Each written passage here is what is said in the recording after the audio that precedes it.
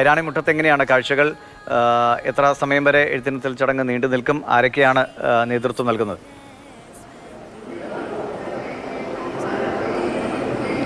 ദിവിഷ ഇവിടെ എട്ടര മുതലാണ് എഴുത്തിനിരുത്തൽ ചടങ്ങ് ആരംഭിക്കുന്നത്. ഇപ്പോൾ തന്നെ ആളുകൾ എത്തി തുടങ്ങിയിട്ടുണ്ട്. കുട്ടികളെയൊക്കെ കാണാൻ ഇവർ വന്ന് കാത്തിരിക്കുകയാണ്. തിരുവനന്തപുരത്തെ സംബന്ധിച്ചിടത്തോളം ഈ തുഞ്ചൻ സ്മാരകത്തിലും അതോടൊപ്പം തന്നെ നമ്മുടെ പൂജപ്പുരയിലെ സരസ്വതി മണ്ഡപമുണ്ട് അവിടെയും എഴുത്തിനിരുത്തൽ ചടങ്ങ് നടക്കും. അതോടൊപ്പം തന്നെ പത്മനാഭസ്വാമി ക്ഷേത്രത്തിന്റെ നടകളിലും എഴുത്തിനിരുത്തൽ ചടങ്ങുകൾ നടക്കുന്നുണ്ട്. രാവിലെ മുതൽ തന്നെ ക്ഷേത്രങ്ങളിൽ വലിയ തിരക്കാണ്. ഇവിടെ തുഞ്ചൻ സ്മാരക സമിതിയുടെ നേതൃത്വത്തിലാണ് എഴുത്തിനിരുത്തൽ ചടങ്ങുകൾ നടക്കുന്നത്.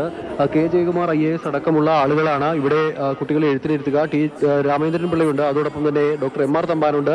വി ജെ ജെയിംസ് ഉണ്ട്. ടി കെ ദാമോദരൻ നമ്പൂരിയുണ്ട്. അങ്ങനെ പ്രമുഖരായ നിരവധി ആളുകൾ കുട്ടികളെ എഴുത്തിനിരുത്താനായി അല്പസമയം അകന്ന് തന്നെ ഇവിടേക്ക് എത്തും. നമുക്ക് കാണാൻ കഴിയും. ചെറിയ കുട്ടികൾ ഇങ്ങനെ വന്ന് അവരുടെ മാതാപിതാക്കൾക്കൊപ്പം കാത്തിരിക്കുകയാണ്. ആദ്യക്ഷരം നുകർന്ന് കടന്നു പോകാനായി ക്ഷേത്രങ്ങളിലും വലിയ തോതിലുള്ള തിരക്ക് രാവിലെ മുതൽ അനുഭവപ്പെടുന്നുണ്ട്. പൂജയെടുപ്പ് ചടങ്ങുകളെല്ലാം പൂർത്തിയായി കഴിഞ്ഞിരിക്കുന്നു. ദേവിയെ കണ്ട് മടങ്ങാൻ ദേവി ക്ഷേത്രങ്ങളിലാണ് ഏറ്റവും കൂടുതൽ തിരക്ക്. ആറ്റുകാൽ അമ്പലം ഇവിടെ തൊട്ട് അടുത്ത് അടുത്ത് തന്നെയാണുള്ളത് ആറ്റുകാൽ അമ്പലത്തിലും വലിയ തോതിലുള്ള തിരക്ക് നമുക്ക് കാണാൻ കഴിയും. കുഞ്ഞു കുട്ടികളുമായാണ് ആളുകൾ ഇങ്ങനെ വന്നിരിക്കുന്നത്. ഇവരെ കണ്ടിട്ട് എല്ലാവരും ഒരേപോലെ ഇരിക്കുന്ന മൂന്ന് പേരാണ്. ഇരട്ട കുട്ടികളാണ് ഇരട്ടയാണ് മാറ്റിക്കേ? എഴുത്തിനിരിക്കാൻ വന്നതാണോ? ഇല്ല മൈൻഡില്ല മൂന്ന് പേരും ഒരുപോലത്തെ ഉടുപ്പുകളൊക്കെ ഇട്ട് വന്നിരിക്കുന്നു. ഇതിൽ ഇവർ രണ്ടുപേരും ഇരട്ടക്കുട്ടികളാണ്.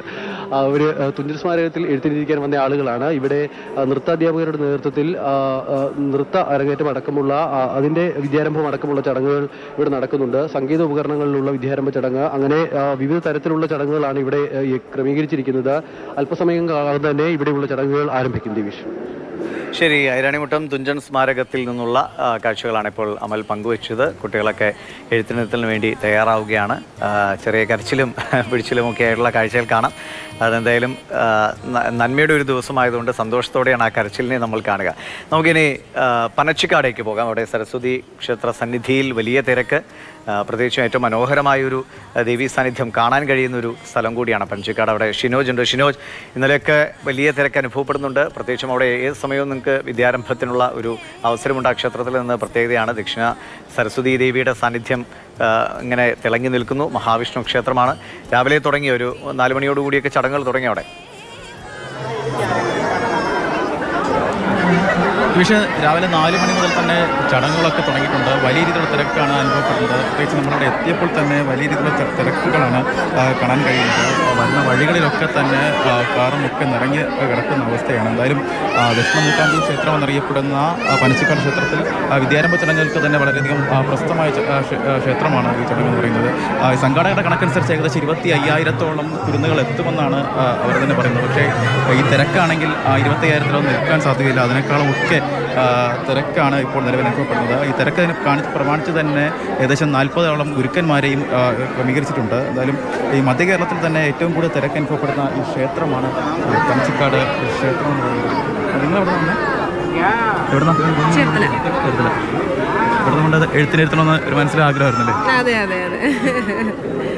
ഇത്തരത്തിൽ ഈ ജില്ലയിലെ കോട്ടയം ജില്ലയിലെ മാത്രമല്ല ജില്ലയ്ക്ക് പുറത്തുള്ള നിരവധി ആൾക്കാരും ഇവിടേക്ക് എത്തുന്നുണ്ട്. പ്രത്യേകിച്ച് ഈ പഞ്ചിക്കാട് ക്ഷേത്രത്തിൽ കൊണ്ടുവന്ന് നിങ്ങളുടെ കുഞ്ഞിന് അധ്യക്ഷരം കുറിക്കുക എന്നത് അവരുടെ ഒരു ഏറ്റവും വലിയൊരു ആഗ്രഹമായും ഒക്കെയാണ് അവർ പലരും കരുതുന്നത് കാണുന്നത്. എന്തായാലും ആ, പൂജ ഇപ്പോൾ നാൾ തുടങ്ങിയ സമയം മുതൽ തന്നെ വലിയ രീതിയിൽ തിരക്ക് അനുഭവപ്പെടുന്നു മാത്രമല്ല ഈ ക്ഷേത്രത്തിന് മാത്രം മറ്റൊരു പ്രത്യേകതയാണ് ഈ കുഞ്ഞുങ്ങൾക്ക് മാത്രമല്ല മുതിർന്നവർക്കും ഇവിടെ എഴുതാൻ കഴിയും. മണലിലാണ് അവർക്ക് പുറത്ത് എഴുതാൻ സൗകര്യമുണ്ട്. ഈ പൂജ പൂജ എടുത്തതിന് ശേഷം അവരെ ഒന്നേന്ന് പഠനം തുടങ്ങുന്നത് കണക്കിനാണ് ഒരു ആചാരം അനുസരിച്ചാണ് മുതിർന്നവർക്കും എഴുതാനുള്ള സൗകര്യം ഇവിടെ ഒരുക്കിയിരിക്കുന്നത്. ശരിയാണ്. പനച്ചിക്കാട് എങ്ങനെയാണ് പ്രതീക്ഷിക്കുന്നത്? അതേ തിരക്ക് ഇപ്പോൾ തന്നെ കാണാം. അത്രയേറെ ആളുകൾ ഒഴുകിയെത്തുന്ന സ്ഥലമാണ്. ഇനിയും തിരക്ക് കൂടാൻ ഏഴ് ഇരുപത്തെട്ട് സമയം. തിരക്ക് ഇനി ഓരോ നിമിഷവും കൂടാൻ പോകുന്നതേ ഉള്ളൂ